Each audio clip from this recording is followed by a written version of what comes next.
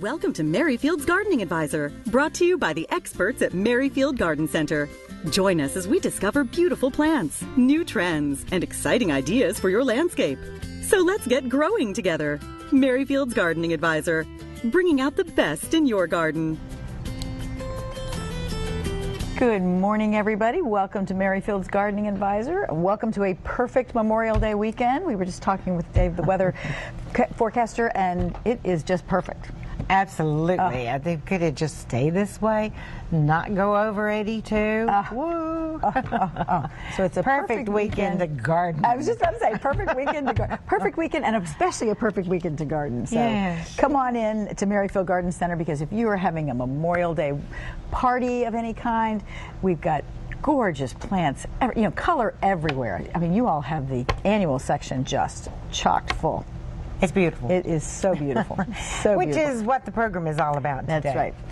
It's all about some beautiful plants, some very dependable, beautiful plants, and and how you combine them, and and right now we've got a broad spectrum, you know. Mm-hmm. Right. I love bouncing between the annual section and the perennial section because they complement each other, whether you're working in the soil or in containers. So basically, that's what we're going to be talking Mm-hmm. about, and and we'll have a little guide today.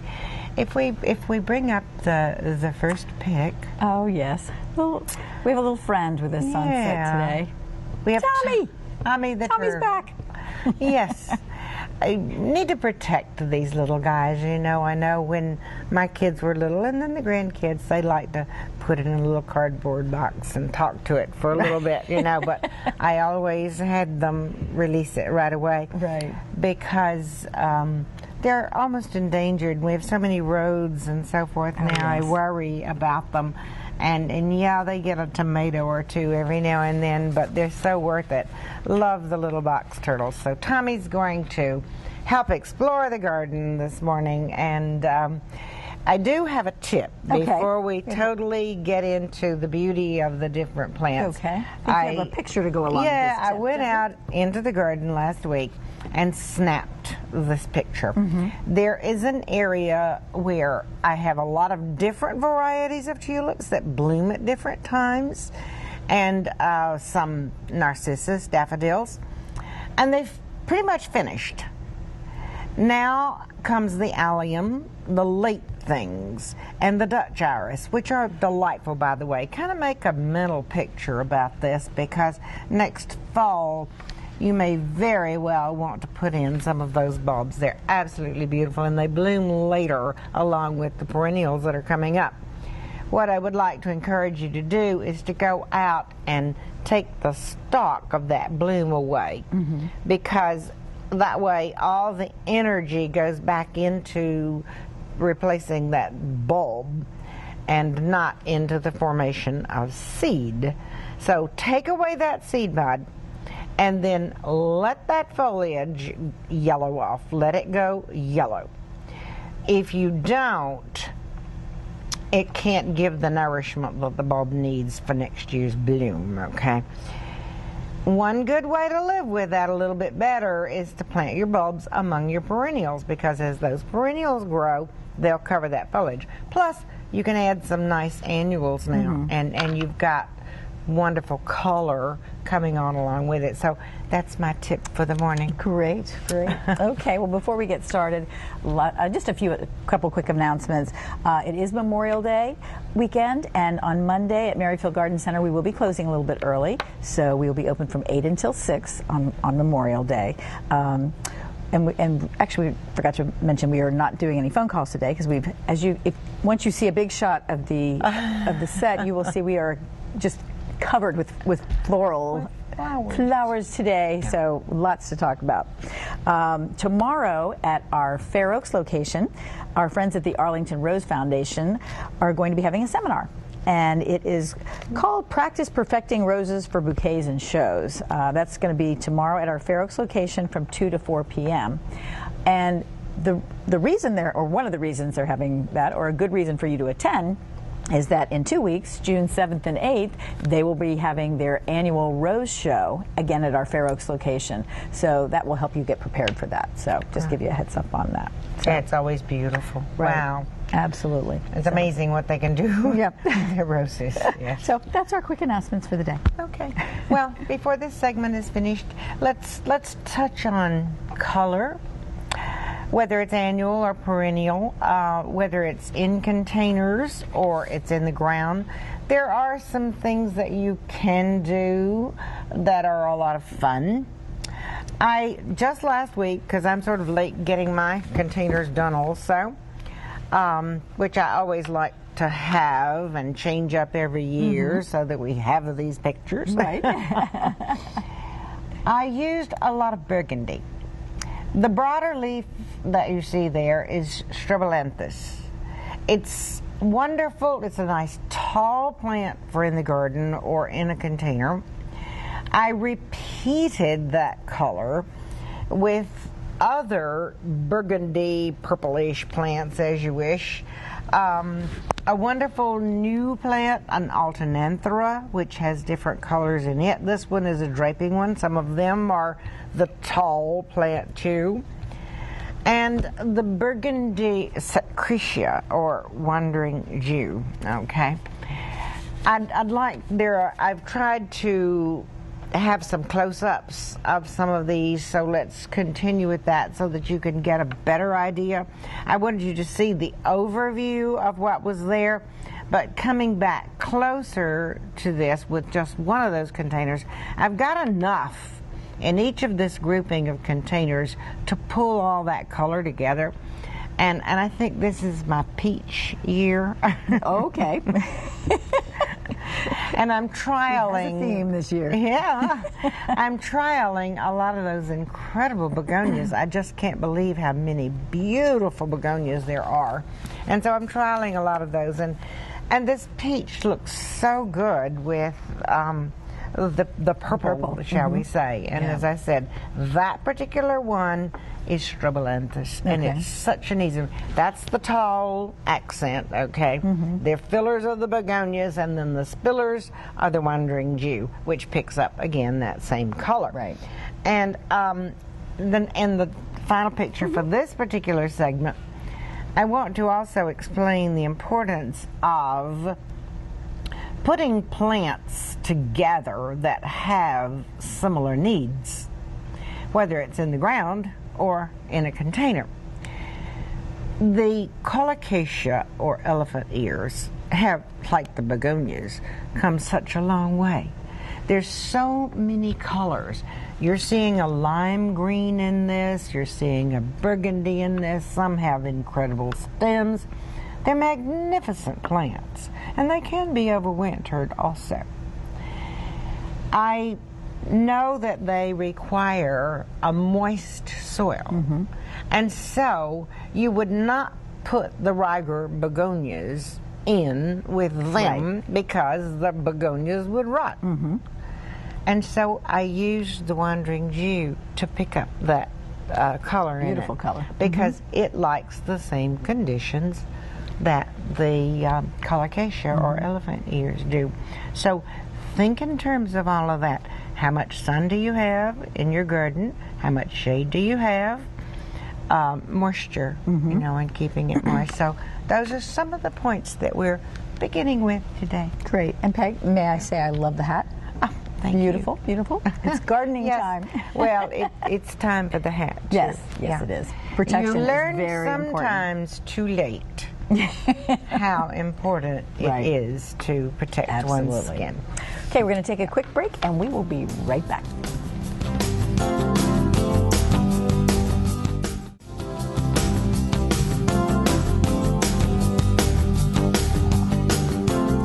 Beautiful color. Oh, oh. You know, this weekend, especially Memorial Day weekend, it kind of kicks off the summer.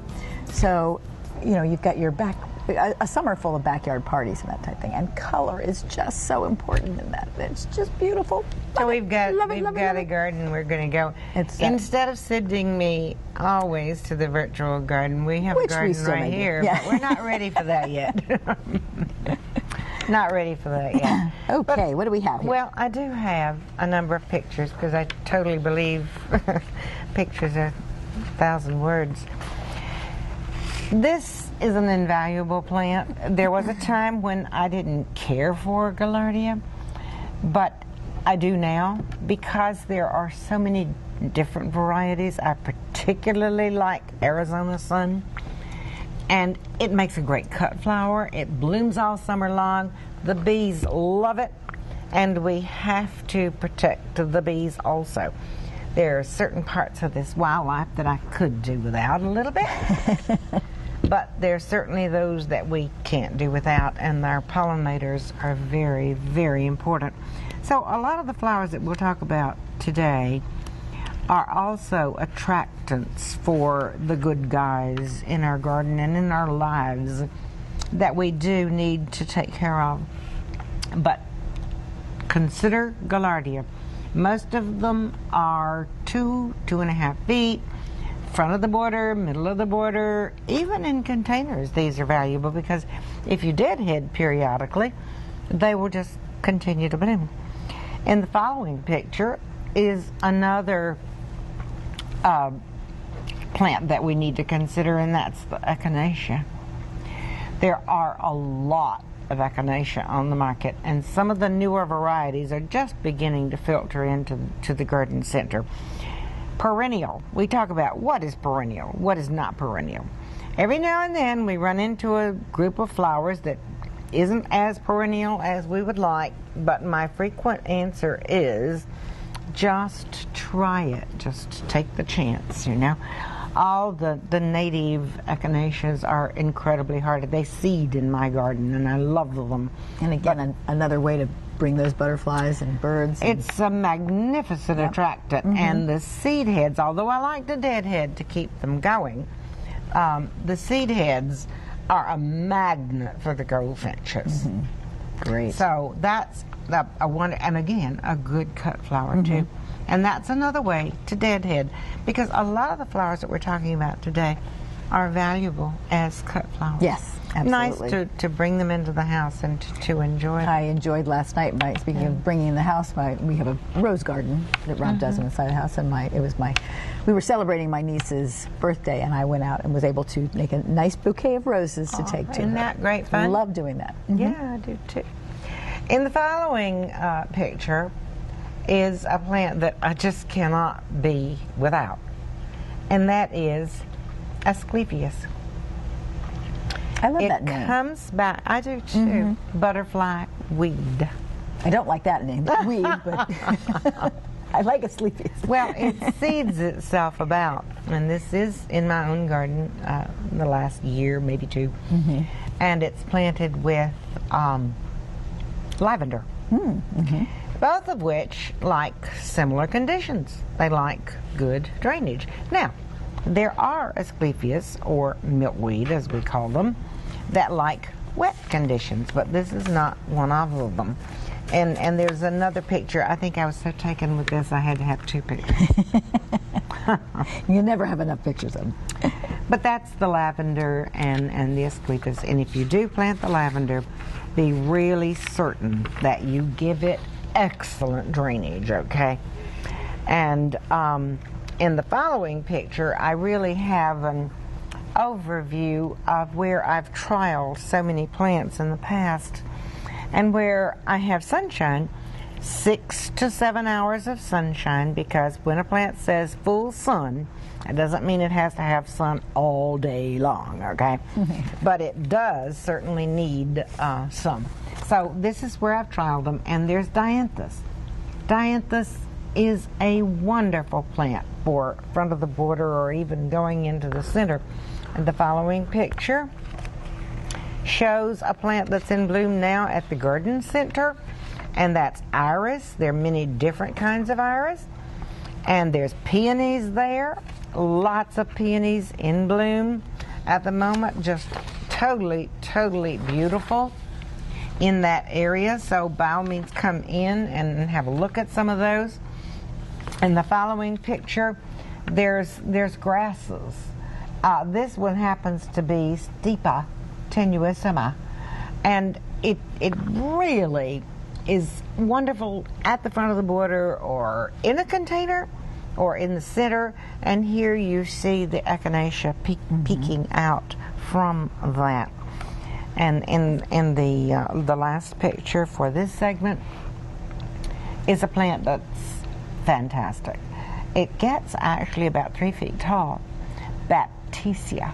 And when we come back um, in the in the next segment, I will. Well, actually, I'll probably wait till we go Yeah, into the garden. later. Mhm. Yeah, Okay. because I have a Baptisia here with me today that you're going to say, "Oh my goodness, that is Got to have just that. beautiful." Got to have that. It is a good like lupin. A lot of people love the b- blue lupin, Mm-hmm. Right. and that's not terribly perennial because it doesn't like our heat. Mm-hmm. You almost have to treat it like an annual.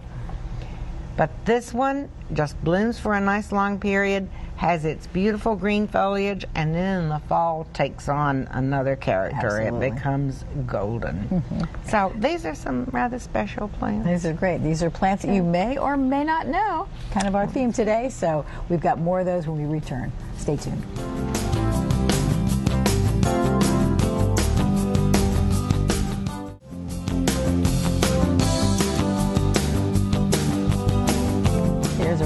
Shot of, what Memorial Day is all about. You know, Yes. Time to honor our fallen, fallen heroes, and I think to be thankful for our, all the men and women who every day serve and protect us. You know, it's, it's just- Absolutely, we, we do need to think about that, and it it's very easy to think about that when you hear the rolling thunder. I know. I- I made the comment. I personally am not fond of motorcycles on the road. Okay, but there, I'm fascinated with the rolling thunder. Mm-hmm. It has such meaning.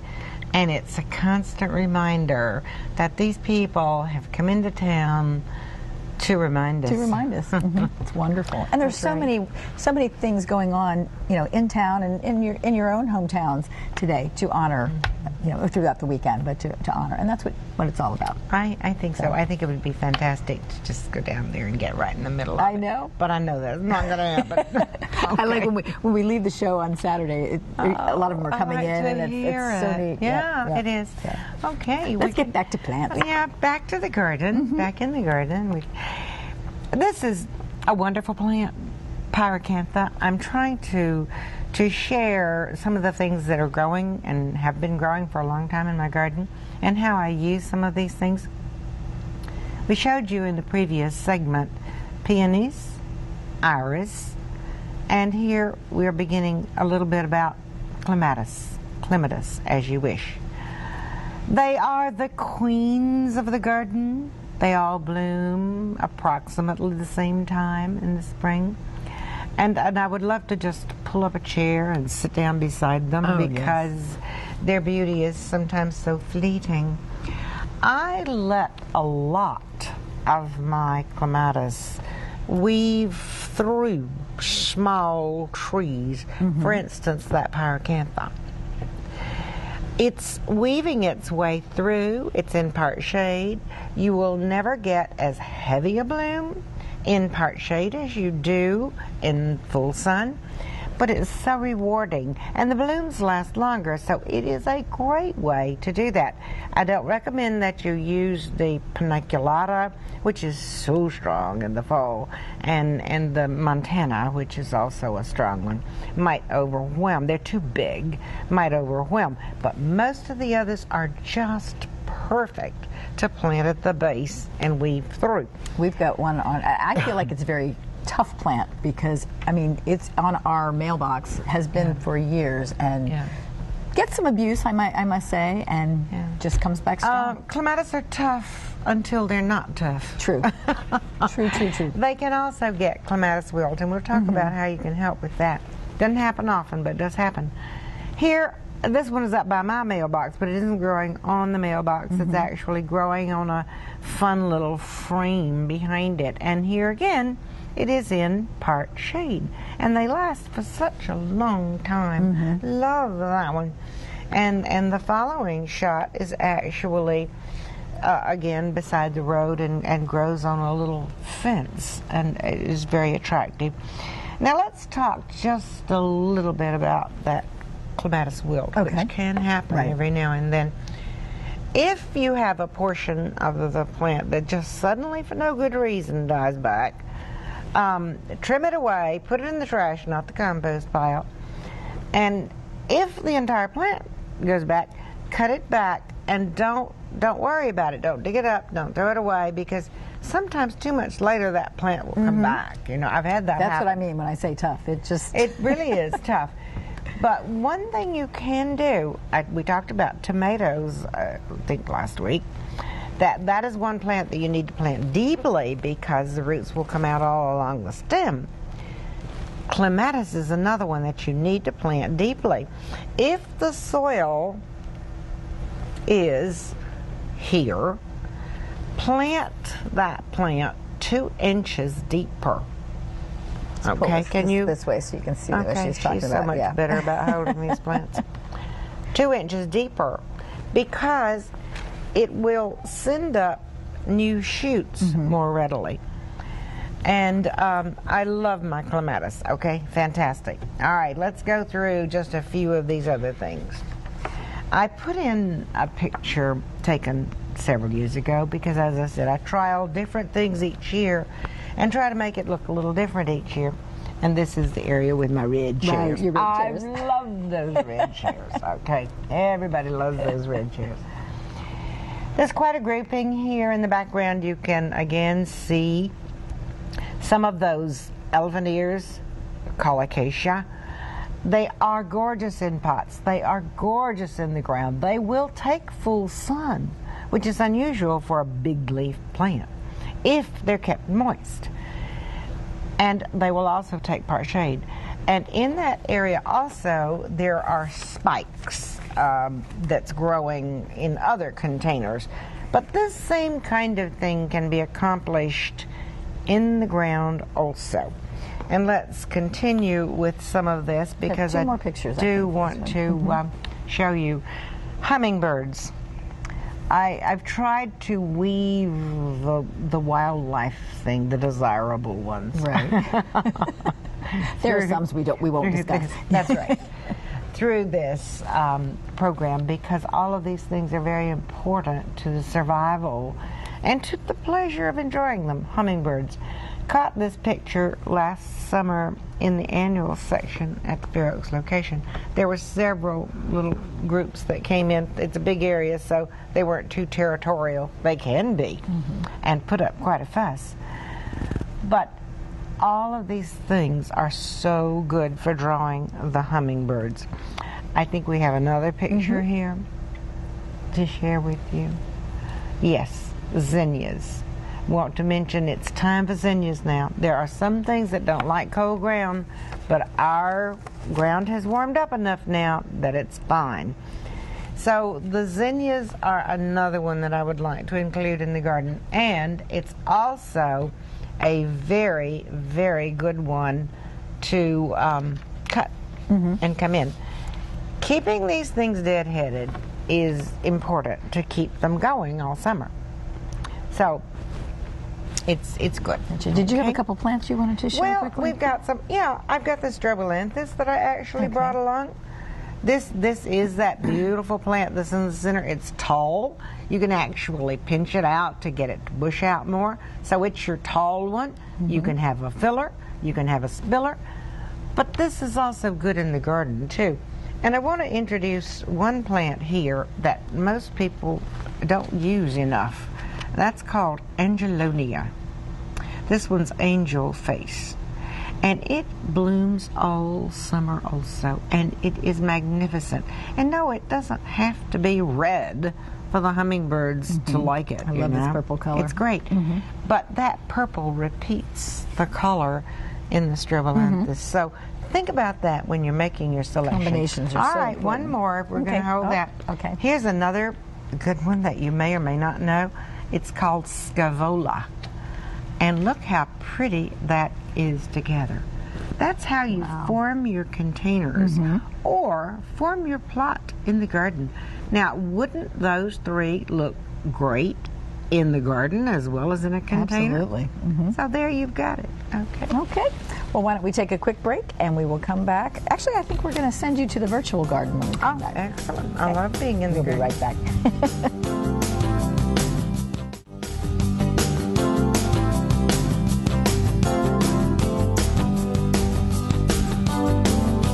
Welcome back to Merrifield's Gardening Center Advisor. This is a wonderful opportunity to come out into the virtual garden and to show you, to be able to point to things. Did this particular one several years ago, and I have to use it. And I've done some variations on it ever since because my home is has a large retaining wall with a change of grade. And as you come down the steps, I've used this dichondra. This is the broader leaf that comes down here, dichondra. Then there's a very fine gray leaf, lotus vine, okay? Dichondra, lotus vine. And then there's a variegated leaf. It's often called sweet potato vine, but it isn't a true sweet potato vine. It's solanum. And then there's a gray curry along with the red begonia. All summer long, it was beautiful. And most people don't know that some of these vines can actually do this. I think there's a couple more pictures here, maybe a close up with how I brought color into it. Here is a plant that is underused, and now industry used to be the little tiny short one that um, you can actually pick because they're they're dry and they dry don't have to dry. They're already dry feeling. But they're wonderful for dried flower arrangements too. And I like to put them in the vegetable and herb garden as well as containers. Gomphrena. And that's planted in the top of those containers along with something bright and red which is the big begonia or the whopper. Those are some newer varieties now. And coleus. Oh my goodness there are so many coleus out there now and this is a cascading one in the background here coleus are so valuable for the center of that tall plant either in the garden or in containers too you can have coleus as the tall plant and coleus that spill out. So many. And there's another picture here.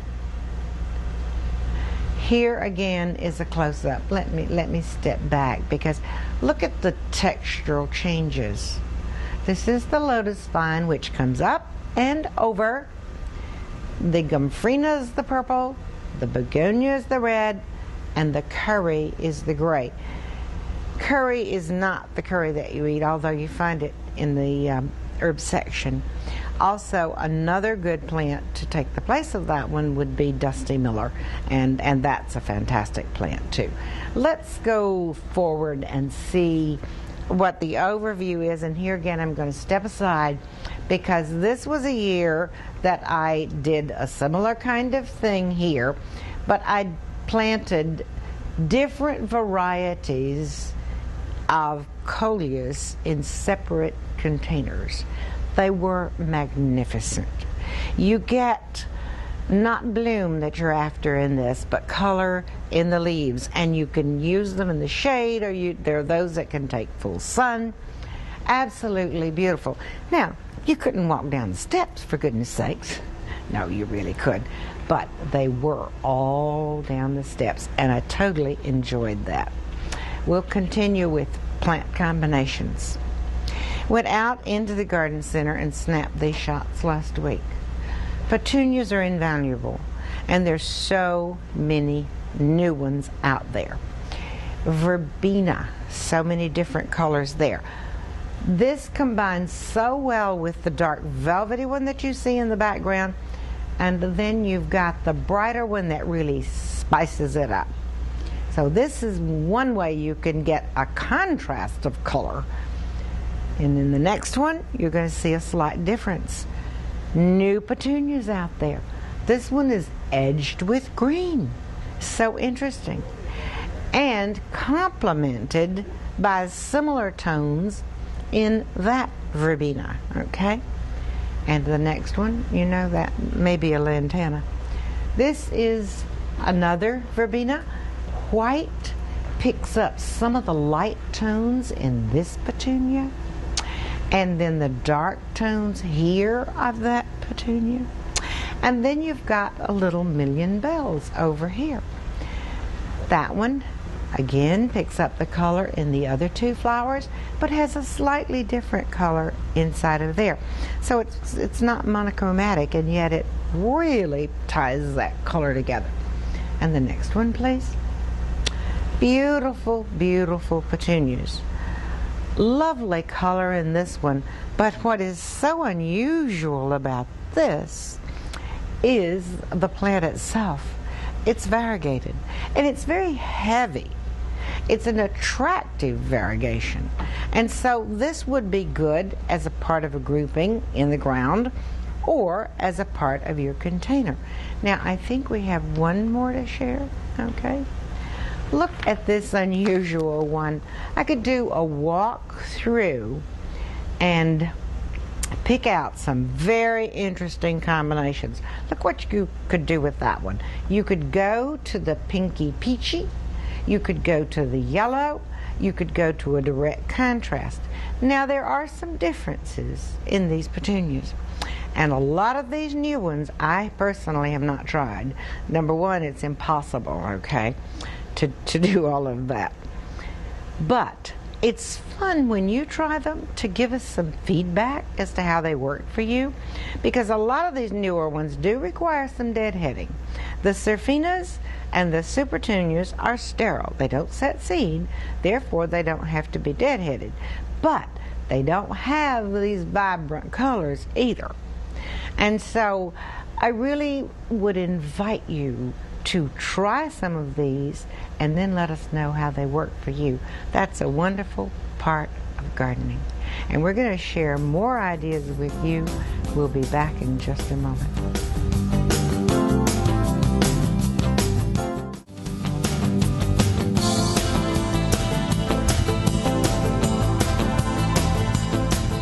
Welcome back to Merrifield's Gardening Advisor. I really am in the virtual garden right now. Actually, what I did in the last couple of days was walk about in the garden center as the various and sundry trucks arrived, both in annuals and perennials, to select some of what I thought was the best of the best plants to introduce to you today and put together some combinations that would make a very nice garden. The plants that I chose was a magnificent. This this is is that one that I said could replace the the lupin, and uh, it's very long lasting. Baptisia, Baptisia. Isn't the color of that beautiful? It comes also in a bright yellow, and actually they would be pretty planted in close proximity to each other, you know. I have the yellow, I don't have this one. I think it is magnificent. Blooms heavily in the spring, is this beautiful foliage all summer, and then turns orangey in the fall. And then as we move over in this direction, I selected also an Achillea Coronation Gold. It is marvelous also. This is a plant that makes a great cut flower or dried flower. And if you deadhead it or cut some to dry, it will continue to bloom for a long period of time. Perhaps when I sit back down later, I can show you exactly where you deadhead this. But I'm going to bend this Baptisia down so that you can see the color tones together. They're incredibly beautiful. Now that would be lovely planted together and they would be nice either in the back or the middle of the border or could even be uh, in some cases put into containers.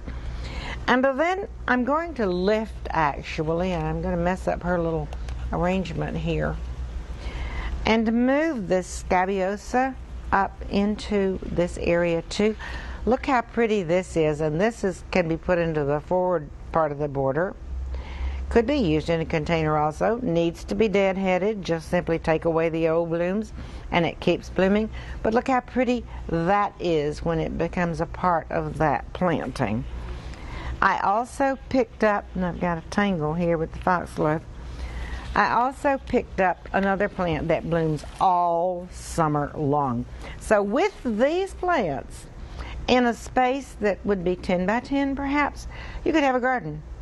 If you have a small backyard, this could be your garden because you would have a variety of bloom time.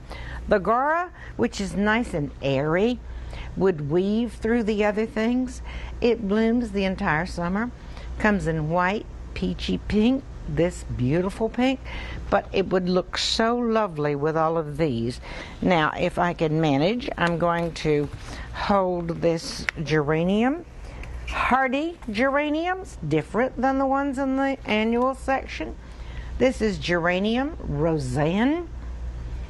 It could weave through the other things or be near the front of the border. We're planning your 10 by 10 space here, okay? And it's all nicely color coordinated, also spread out for bloom time. Absolutely beautiful there. I'm going to have to sit down, running out of hands here, okay? Sit this plant down. All right, how do you mix ornamental grasses in and a change of texture? This is a pretty golden color. It's Molinia.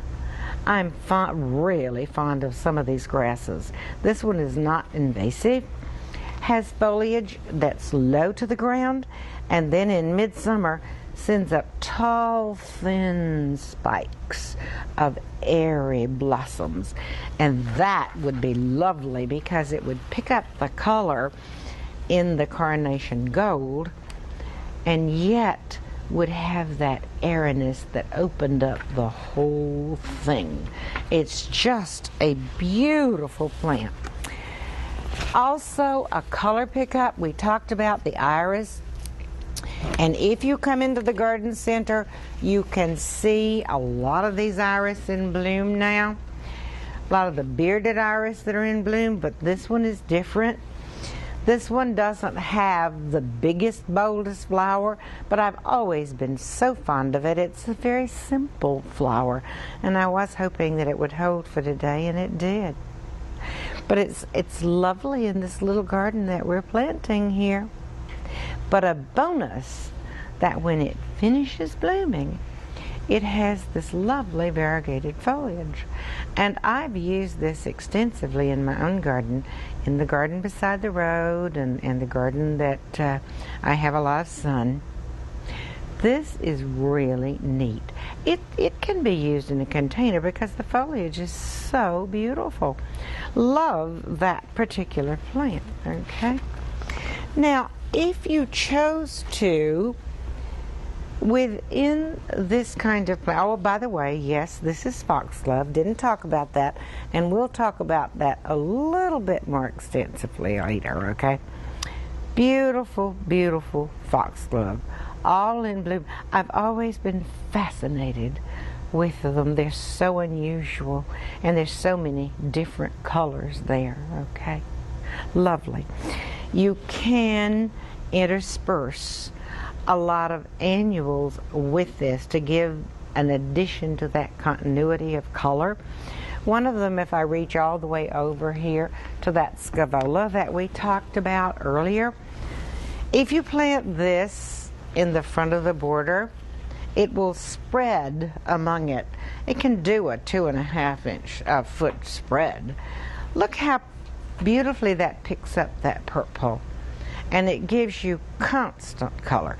Perennials rarely give you constant all season color, but the annuals can help add to that. And there's one other that I will mention, and that is abutilon, which comes also in different colors. And it gets quite tall. I think you'd have to come fairly closely on this. See how lovely that is? beautiful little blossom there. It is an annual, gets quite tall, comes in lots of different colors. And so this this is just a small garden, can be repeated to make a big garden and have other additions.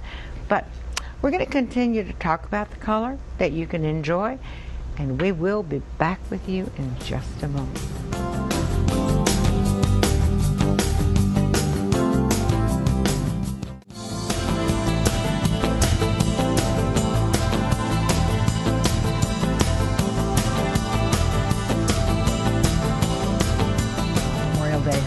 Remember, remember, remember.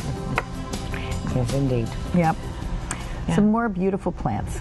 Yes, I, I have um, a little story to tell you about the foxglove, but before we go into that, I also would like to share that shrubs and trees are such an important part of our garden. Oh, absolutely. They are the structure of the garden, and, and with the shrubs, the furnishings, uh, and then you have the perennials and annuals for additional interest. But one that is very much underused is the Exbury azalea, and I think, oh, well, that's all right. We'll talk about digitalis, all right? I wanted to tell you a little bit of a story about digitalis. Um, foxglove, which I showed you earlier. This was in my garden several years ago because foxglove isn't always a dependable perennial, but it is a plant that I can't resist and love to have in the garden. And so I'm satisfied to enjoy it while it's there. Okay, it's like the the beauty of the iris and so forth.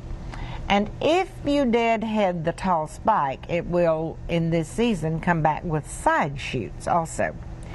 If you let some of those spikes dry and sprinkle the seeds around, mm-hmm. then you can have a garden like the one you just saw.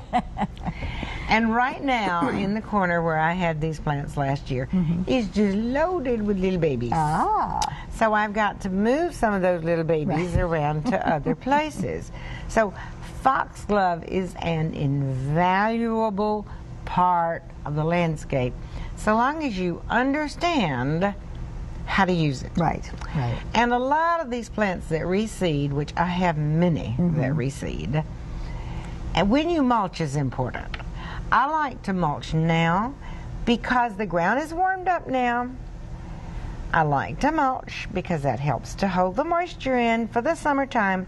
But getting that mulch down now means that those seeds that reseed, like the foxglove, will fall into there and have the chance to sprout. If you mulch heavily on top of those seeds in late summer, you might lose that. Mm-hmm. So, understanding when to mulch is very important. And I think we have time to share just a few of the things that are in bloom Touching right on now. Azalea, so here we Oh, oh, mm-hmm. we've brought the. Oh, mm-hmm. good, good, good.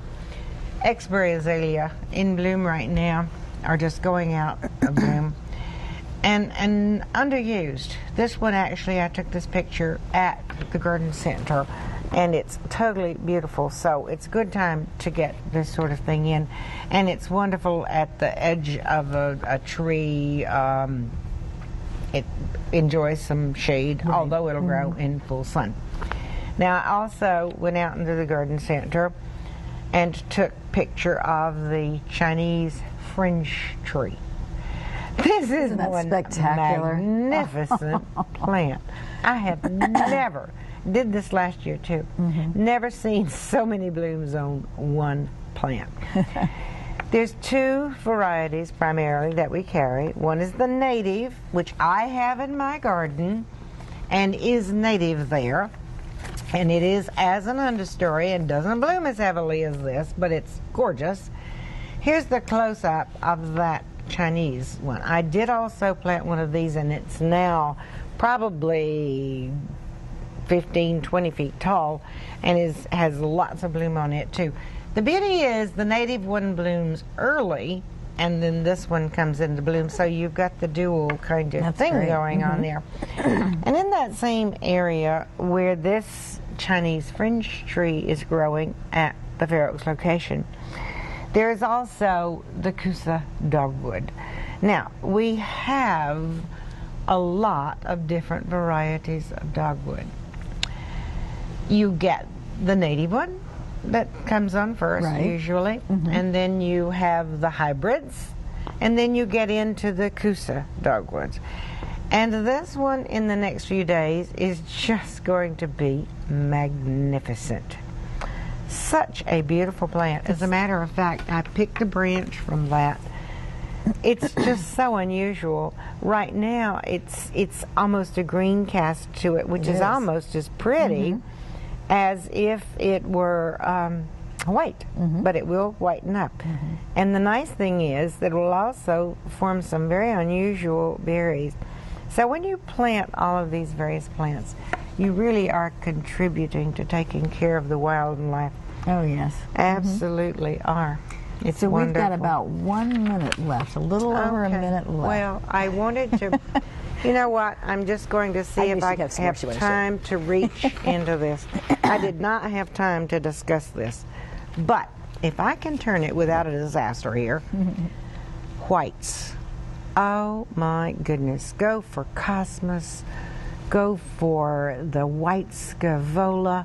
Ooh, look at all those pretty whites Oh, that yeah. go together. Wouldn't a white container be beautiful? oh yes.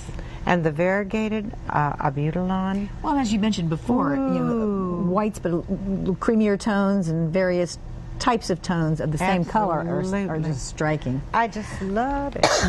just love it. So, anyway, gonna gonna finish up today and go out to Fair Oaks. And That's right. if you come that direction, please say hello. That's right. You'll find her out in the annual section, the That's perennial section, and out there. And it's, it's so great seeing you out there, being, having so much fun here, planting I and love you just say hello. Absolutely, absolutely. Next week, David will be here, and he's going to talk about some timely gardening tips, things that need to be done now to get ready for the summer season. So, lots going on. We hope you will come by Merrifield Garden Center. Again, uh, we'll be open all weekend. We open on Monday, but close a little early. Be closing at at six o'clock instead of eight o'clock. So, have a great week. Have a safe week. Have a wonderful holiday, and we will see you next time. Take care.